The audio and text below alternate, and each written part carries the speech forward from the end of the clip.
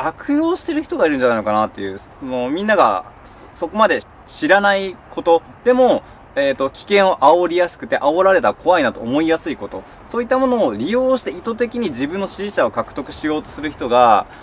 いるんですよね。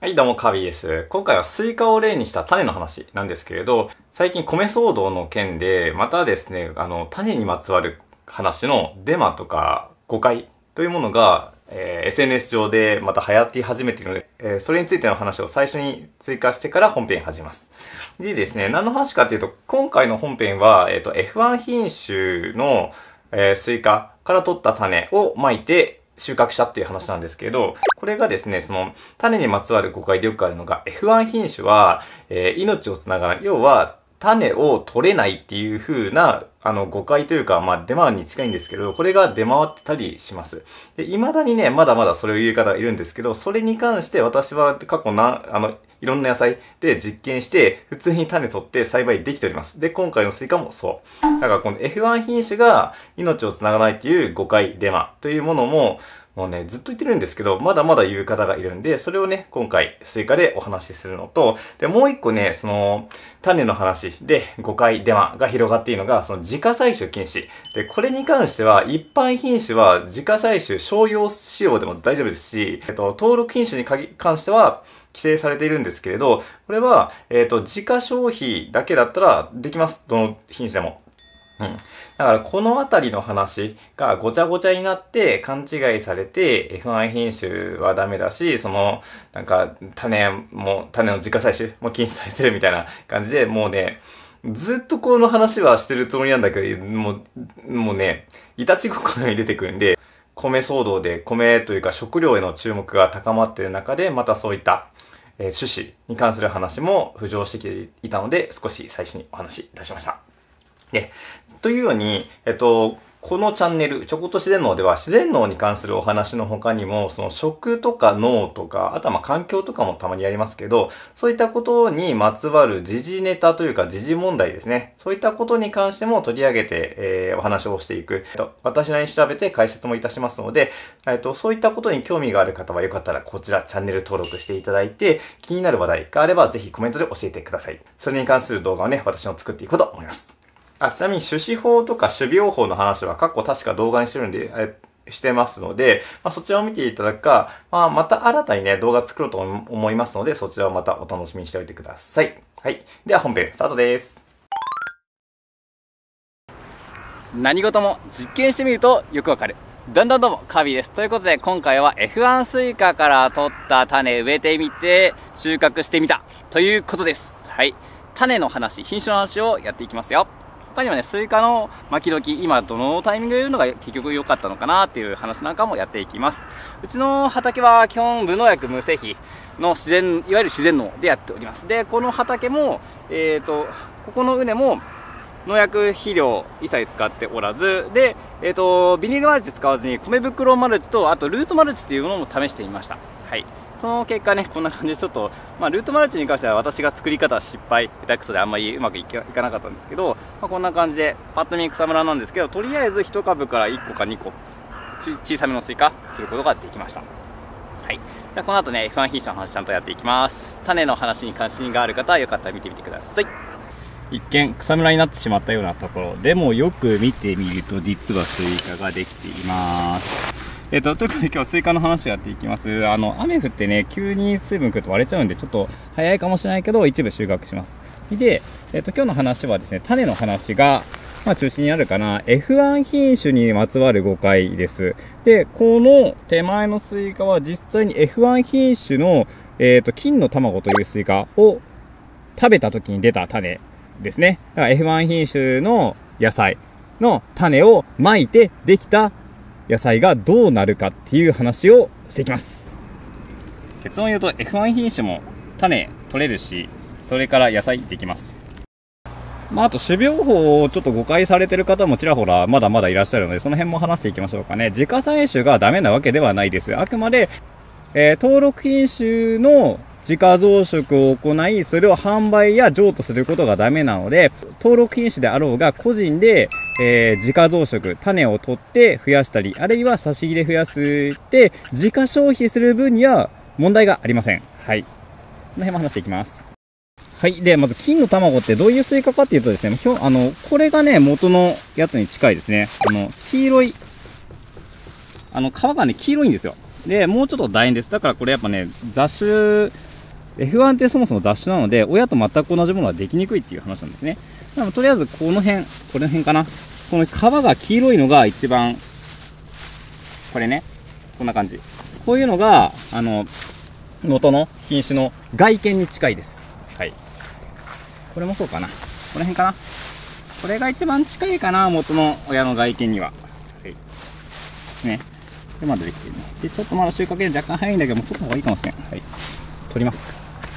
で、こういうものばっかりが取れるわけじゃないんですよ、F1 って。要は雑種なので、どういうものがは、えっ、ー、と、発現するかわからないです。これなんか、ちょうど半々ですよね。これ日に当たってこの色になってるっていうよりは、ちょっと緑色の部分が出ている。こ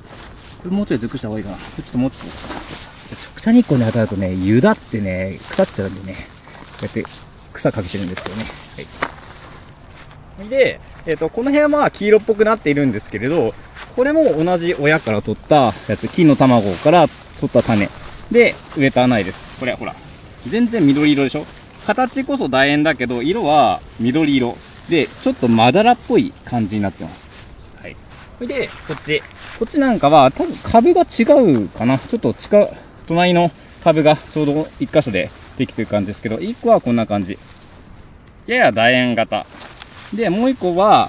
楕円型の形質はよく出ますね。似た、でも色がちょっと緑も出つつ黄色っぽくなってる。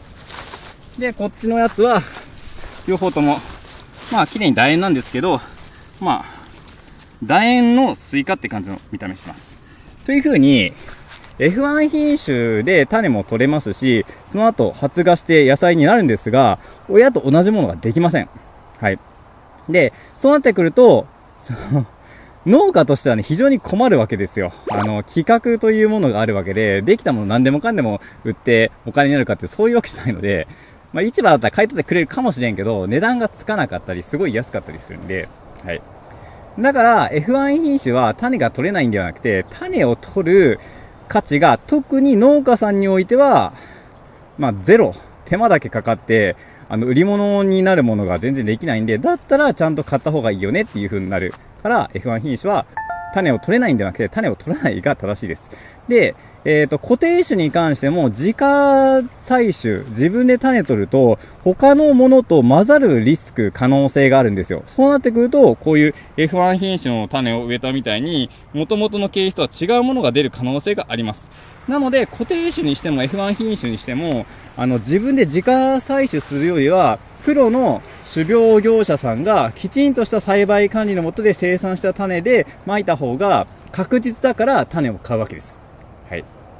このあたりがね、あの、種苗法やら種子法やらいろいろこう、政治的な話に利用されて、誤解を、あのー、もう意図的に生んでるとしか思えないような政治関連の話、よくあるんで、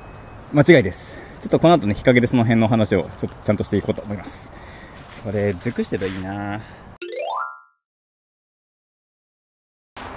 はい。ということで、大体畑で言いましたけれど、一応、より詳しく、えっ、ー、と、補足も兼ねて説明していきます。えー、まず F1 品種が種が取れないっていう誤解は結構広がっているんですけど、あのー、さっき見せた通り、取れます。で、これはですね、ものにもよるんですけれど、えっ、と、誤解を生んだ原因となっているのが、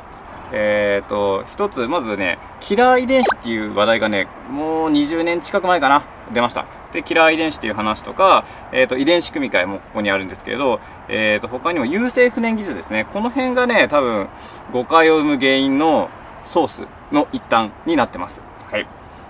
で、えっ、ー、と、実際取れます。はい。で、優性不燃技術って言って、要は優性不燃っていうのは、その、おしべができないっていう奇形になる技術を応用して、品種改良を非常にやりやすくしたというまあそういう技術があったおかげで、品種改良のやりやすさがめちゃくちゃ良くなったんですよ。うん。という非常に、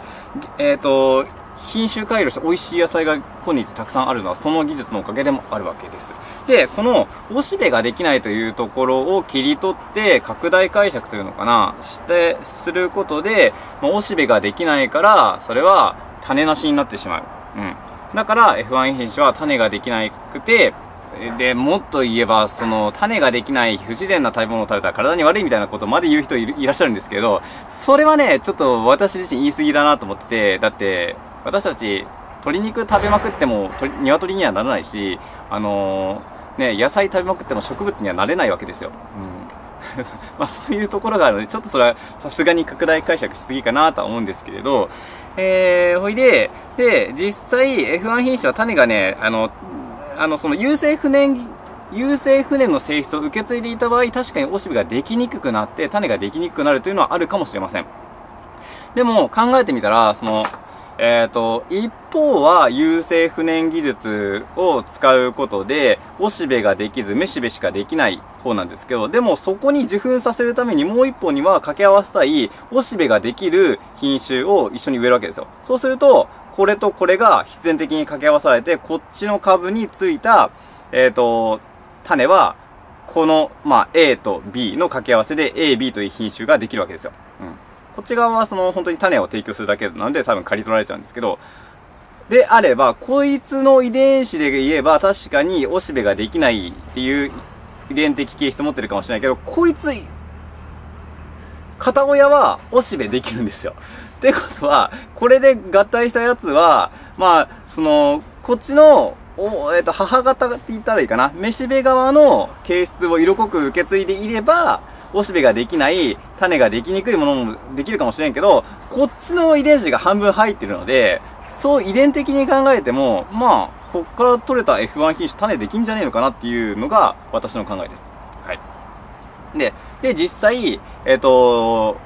さっきから映してるように、あの、F1 品種を育てて、えー、そっから取った種をまいても普通に発芽して結構できるんですよ。うん。これ過去ね、うん、トマト、キュウリ、ナスとかで実験しました。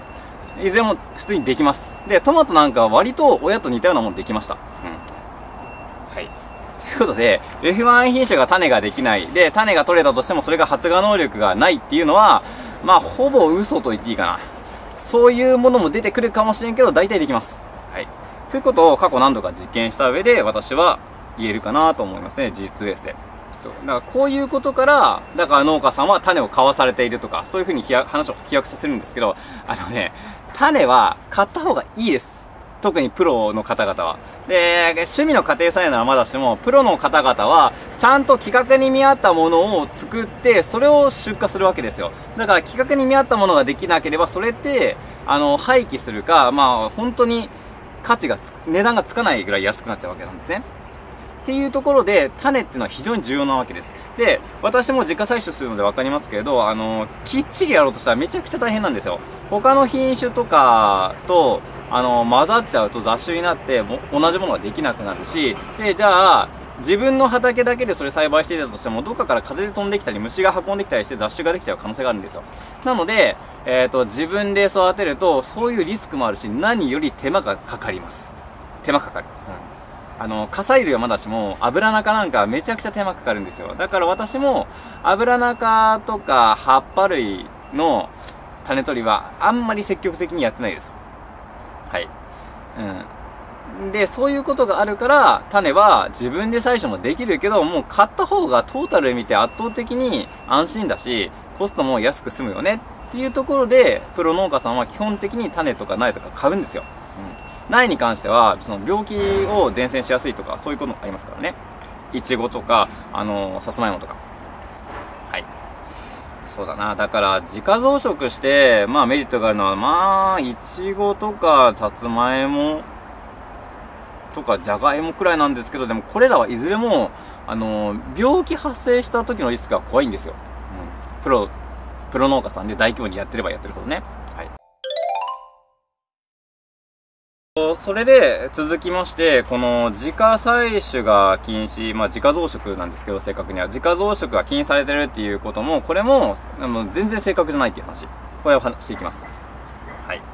えっ、ー、と、これはですね、自家採取、まあ種を、種取りが禁止されるって騒いでる方、未だにたまに見かけるんですけれど、これも間違いです。えこれ正確に言うと、えっ、ー、と、登録品種を自家増殖して販売及び譲渡することがダメだよっていう風に種苗法で決まってるだけで、あのー、登録品種だとしても自家消費なら OK なんですよ。で、これでできたものを販売しちゃダメって言うんですよ。ただ、この自家増殖してできたやつが、えーえーと F1 品種ってあんま登録品種になっていない理由が、F1 品種を、えっ、と、種取りしたところで、元の、えっ、と、親と同じものができない確率の方が高くなるから。だから、あえて登録しなかったりするんですよ。えっ、と、さつまいもとかだったら登録してるのは、それは、その、苗、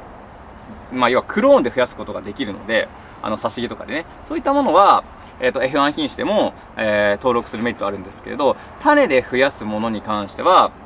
えっ、と、わざわざ登録品種に登録する必要がない、メリットがないんですよ。登録品種にするにはお金かかるんでね。毎年確か数万円とか。うん、で、なおかつ、えっ、と、一般品種と言われるもの。登録品種ではない品種を一般品種と言うんですけど、これらは、えっ、と、自家消費はもちろん OK ですし、えっ、と、自家増殖させて販売するのも上手のも全て OK です。これらは、だから、その、種苗法の、あの範囲外になるんですよ。うん。で、えっ、と、その陰謀、陰謀論好きな方は、その、まあ、いろんなものが登録されちゃったら、それこそ種が自家採取できなくなっちゃうっていう話があるんですけど、っていうことを言う方もいるんですが、これも、えっ、と、何でもかんでも登録したらめちゃくちゃ金かかるんですよ。うん、維持費にね。登録をする。で、なおかつ、登録品種にするには条件があって、そう、条件をクリアするのが結構シビアです。あのー他のものとちゃんと差別化できているとか、過去に、えっ、と、譲渡されたりしたことがない品種とか、まあ、新しい品種である必要があるんですよ。うん。さらに、えっ、と、一度登録して、その登録が失効したものは再登録できない。などのいろんなルールがあります。だから、あのーたまに見かける陰謀論的なことをおっしゃってる方が言うようなことは、まず実現しません。はい。うん。ということなんですよね。なので、これらのことから、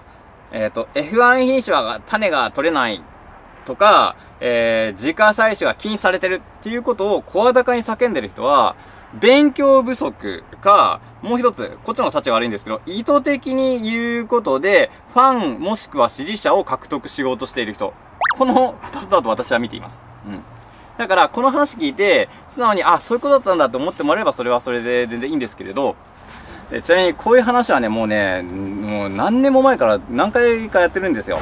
えー、私、ちなみに私自身も何年前かな、にえっ、と、2000年代から2010年になるくらいまでは、この話かなり信じていて、やばいなとは思ってました。だから当時は遺伝子組み換えとか、えっ、と、F1 品種とか、ちょっと警戒していたんですよ。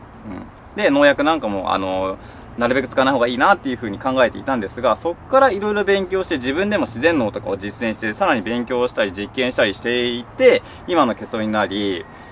うん。ああ、完全に不勉強だったんだなと過去の自分を振り返っております。はい。うん。だからね、その、まあ、反対とかするのはいいんだけどね、情報をアップデートしてほしいなとは思いますね。で、こういったことは、その、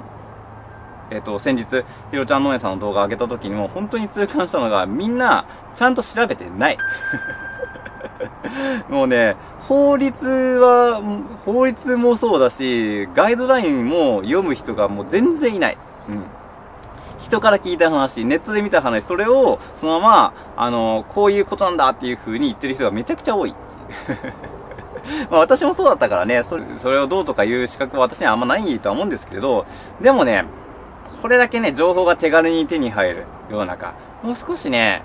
えっ、と、特に人に、えっ、と、指摘とか注意するんであれば、一度調べ直してからの方がいいんじゃないかなと私は考えています。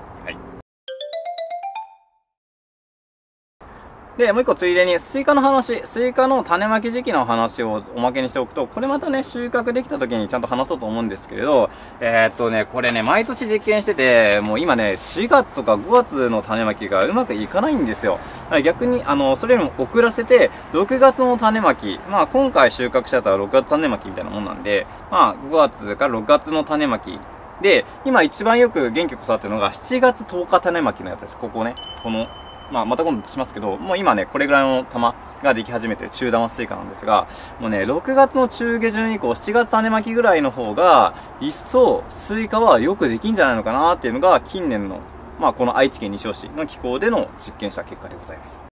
ちなみにこれ4月30日種まきで6月17日定植しましたね。それで、これね、米袋マルチで草を抑えていたのと、あと、なんだっけ、あの、ルートマルチ、えー、中谷自然農園さん発案の根っこマルチっていうものを私やってみたものちょっと不完全なんでね、完全に抑えきれなかったですけど、最初の頃は根っこマルチの方がいい感じに育ってました。うん。でもまあ、私のやり方が下手くそなんで、もう草生えてきてますし、えっ、ー、と、後半、あの、手軽さと草を抑える効果で言えば、米袋マルチの方が簡単かなとは思います。うん。でもこれやっぱ水をね、浸透させるっていう点で、バッチリとルートマルチが作ることできれば、こっちの方が優秀なのは、今回やってみて分かりましたね。はい。まあ、詳しくはね、中谷自然農園さんのね、ルートマルチの動画見てみてください。はい。で、とりあえずね、良さげなやつ収穫します。割れても良くないからね。まだちょっと早いけどね。スイカの収穫目安って色々あるんですけど、一番確実なのは、あの、受粉してからの日数が一番確実です。で、あの、小玉、中玉、大玉で違うんですけれど、大体、小玉でもね、受粉してから45日から50日だったかな。大玉で大体50から60日だったと思う。ん ?60 日ぐらいかな？だったと思うんですけど、他にも、あの、あ、うちの場合はこの、放任、虫に任しちゃってね、いつ受粉したかわかんないんですよ。まあ、花咲いた日見つけ、見てればわかるんですが、で、他の目安としては、この巻き鶴ですね。これが枯れてきたタイミングとかっていうのもあります。あと、音あ、これいけるの多分、この音多分いけます。これ多分いける。そんな感じ。だから、まあ私はその日数チェックが一番簡単、あの確実なんだけど、やり損ねるので、基本的にこの巻き鶴チェックで調べて、あと音でやります。はい。音は難しいんですよ。ボンボンボンって音がすれば、熟してる。で、音がちょっと高い、カンカンカンみたいな感じだと、まだ硬かったりする。はい。うん。まあ、日数ちゃんとカウントする方がいいですよ。はい。ということで、ちょっと収穫します。はい。ということで、えっ、ー、と、まあ、えっ、ー、と、法律関係はね、本当にそれを政治利用して、もう正直ね、さっきも言いましたけれど、悪用してる人がいるんじゃないのかなっていう、もうみんながそこまで、知らないこと、でも、えっ、ー、と、危険を煽りやすくて、煽られたら怖いなと思いやすいこと、そういったものを利用して意図的に自分の支持者を獲得しようとする人がいるんですよね。うん。なので、えっ、ー、と、まあ、小さな力ではありますけれど、まあ私も以前はそういうのが怖いなと思っていて、そういう方々を支持していた時期もありました。でもちゃんと調べてみると、なんかそっちの方が嘘っぽいなっていう風になってきてるんで、なので私なりに調べて、ある程度根拠のある話、えっ、ー、と、えっ、ー、と、私が調べた限りで根拠のある、根拠に基づいた話を発信していこうと思って、このチャンネルを続けているわけです。はい。ということでね、まあ、小難しくなるんですよ、うちのチャンネル。どうしてもね。